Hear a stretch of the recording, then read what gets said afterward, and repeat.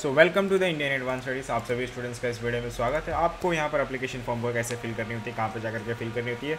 ये सारी प्रोसेस को आपको इस वीडियो में बताने वाला है। Step by step make sure कीजिए कि चैनल को सब्सक्राइब कीजिए, क्योंकि एक स्पेशल चैनल बनाया गया है जी के रिलेटेड तो आपको अपने ब्राउज़र में गूगल डॉट कॉम ओपन करके वहाँ पर टाइप कर देनी होगी G I P T two thousand twenty two I A S F S G I P E okay and Google search search करना है और फ़र्स्ट वाले लिंक पे क्लिक कर देनी तो आप यहाँ पर खुद ही देख सकते हैं कि Gokhale institute of of public okay politics and economics Pune तो यहाँ पर आपको फुल फॉर्म दिख जाता है इसका। ओके फिर यहाँ पर स्क्रॉल डाउन कर रहे हैं। एप्लीकेशन फॉर्म आपकी रिलीज़ कर दी गई, यहाँ पर लिखा गया है। For M S C B S C and M A programs के लिए, ठीक है? तो आगे बढ़ने से पहले फॉर्म देख रहे हैं आप सामने। इस फॉर्म को फिल कर दीजिएगा। इस फॉर्म में क्या फिल करना होता है? आपका अपना full name e email ID contact number state city inter state course बतानी होती है। कौन सा कोर्स में इंटरेस्ट रखते हैं? हाईएस्ट क्वालिफिकेशन अब तक की आपकी क्या? वो बताने के बाद आपको गेट फ्री काउंसलिंग पे क्लिक कर देनी होगी। इससे ये होगा कि आपके कॉन्टैक्ट नंबर ईमेल आईडी के थ्रू आपको फ्री ऑफ़ कॉस्ट एसएमएस मिलता रहेगा।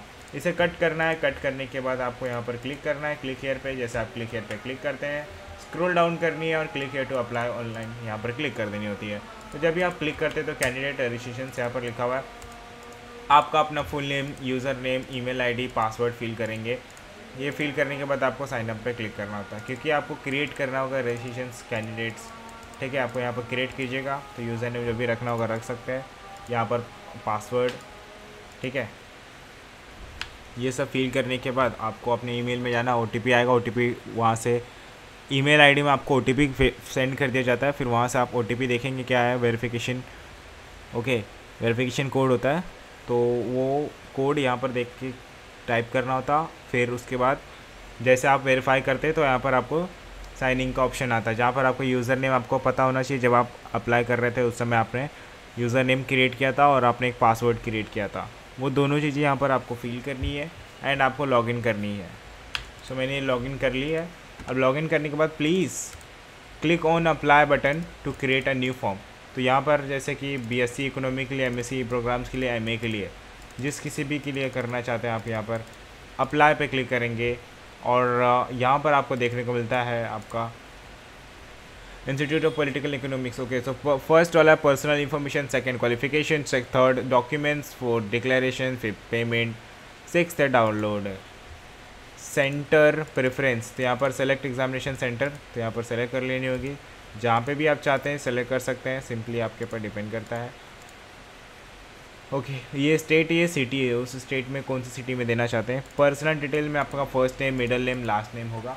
आपका voter ID alternate email address होगा अल्टरनेट मोबाइल नंबर होगा। प्लीज़ सेलेक्ट आर्मी और यस या नो में आंसर देना होता है। सेलेक्ट योर जेंडर सेलेक्ट करनी होगी। मेल या फीमेल मोबाइल नंबर क्या है आपका? सब कुछ यहाँ पर करने के बाद।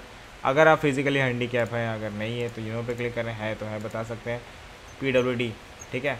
आप ये सारी चीज़ें फिल करने के बाद आप देख सकते हैं ये सारी चीज़ें। कैटेगरी लास्ट में यहाँ पर एस सी जनरल है तो जनरल बताने के बाद। Do you belong do you belong to minority category से बिलोंग करते हैं क्या? ठीक है? यस इन्हें आंसर देंगे। और स्पेशल रिफ्रेश होता है बार बार? नेक्स्ट यहाँ पर स्पेसिफ स्पेसिफाइड रीज़न यहाँ पर देना होता है पेरेंट्स इनकम बतानी होती है। ईयरली कितना कमा लेते हैं? Please select domicile certificate select करनी होती है, कौन से स्टेट का है। यहाँ पर आपको बतानी होती है नेशनलिटी और वैकेंसीज अच्छा वैक्सीनेशन स्टेटस बतानी होती है फुल्ली वैक्सीनेटेड सेकेंड डोज आपको एड्रेस यहाँ पर फिल करनी है, आपकी एड्रेस क्या है सिटी क्या है डिस्ट्रिक्ट डिस्ट्रिक्ट क्या है, कौन से डिस्ट्रिक्ट में रहते हैं आप? स्टेट बताएँगे पिन कोड नंबर बताएँगे, अगर आपका एड्रेस एक ही एड्रेस है सेम एड्रेस है तो आप यहाँ पर टिक करेंगे। Is your address permanently same okay permanently same as your communication address तो अगर आपका एड्रेस सेम है तो एड्रेस सेम है, उसके लिए आपको यहाँ पर टिक कर देने होगा। दूसरा भी आपके पास एड्रेस है, कोई और एड्रेस है तो आप यहाँ पर फिल करेंगे अपना permanent address city district state pin code number ये सारी डिटेल्स फिल करने के बाद आपको सेव एंड कंटिन्यू पे क्लिक करनी होती है। ओके सो so, आपको यहाँ पर अपना पर्सनल इन्फॉर्मेशन में सारी डिटेल्स फिल करनी होती है। ठीक है मैंने यहाँ पर सारी डिटेल्स फिल कर ली लास्ट में आप पिन करते हैं। तो क्वालिफिकेशन एड्रेस डिटेल्स पे आ गए हैं जहाँ पर आपको इस रिज़ल्ट डिक्लेयर्ड तो यहाँ पर बतानी होती है यस अगर हो गया तो। अगर हो गया है तो यस बताना फिर उसके बाद आपको नेम ऑफ़ द बोर्ड का नाम बताना होता है मीडियम ऑफ़ इंस्ट्रक्शन बतानी होती है मंथ कौन सा मंथ है पास जनवरी मार्च फेर्च जो भी। पासिंग ईयर बताना होता है यहाँ पर पासिंग ईयर में देख सकते हैं यहाँ पर for example two thousand sixteen aggregate total marks कितना आया था आपको? सिक्स हंड्रेड में से आउट ऑफ़ फोर फोर फिर आप यहाँ पर सेवन कंटिन्यू कर सकते हैं। बोर्ड का जो भी नाम रहा होगा, आप यहाँ पर बता सकते हैं। कौन सा मीडियम था आपका इंस्ट्रक्शंस सब बताने के बाद आपको सेव एंड कंटिन्यू पे करना है। डॉक्यूमेंट्स में यहाँ पर आपको फाइल्स तो जेपीजी फॉर्मेट में आपका फ़ोटो होना चाहिए। यहाँ पर सेलेक्ट करनी है आपकी फ़ाइल एंड अपलोड करनी है। सिग्नेचर में भी सेम एड्रेस प्रूफ पीडीएफ में चाहिए सब। ये जेपीजी में चाहिए और ये पीडीएफ में चाहिए, ठीक है? पीडीएफ में रहना चाहिए और सर्टिफिकेट वगैरह फिल करके यहाँ पर सेवन कंटिन्यू करना। जब भी आपका ये प्रोसेस कंप्लीट होगा ना, यहाँ पे तो डिक्लेरेशन पे आएँगे, जहाँ पे आपको बस डिक्लेयर करना होता है और उसके बाद पेमेंट ऑप्शन पे आ जाएँगे। पेमेंट ऑप्शन पे आने के बाद आपको पेमेंट करनी होगी। पेमेंट ऑनलाइन मोड से कर देंगे debit card internet banking use करके। फिर डाउनलोड आ जाएगा अप्लीकेशन फॉर्म वहाँ से अपना एप्लीकेशन फॉर्म को डाउनलोड कर सकते हैं। ये प्रोसेस आपके सभी डिटेल्स तो डाउट होता है तो डेफिनेटली कमेंट कर सकते हैं। डिस्क्रिप्शन बॉक्स में लिंक को मैंने दे दिया हुआ है क्लिक करके चेक कीजिएगा। Thank you so much for watching my video thank you